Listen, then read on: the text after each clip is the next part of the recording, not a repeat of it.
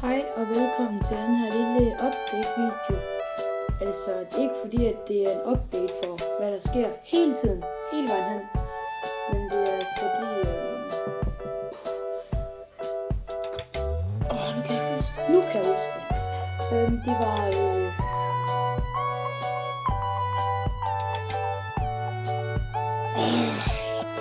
Nu kan jeg huske det. Det er, hvad der... Det er ikke sådan rigtig update update video, men det er bare, øh, jeg siger bare lige, at der kommer en video op i dag, på grund af, at jeg skal ud og spille fodbold. Og nu tænker nogle af jer, jeg kan sgu da bare filme det derude.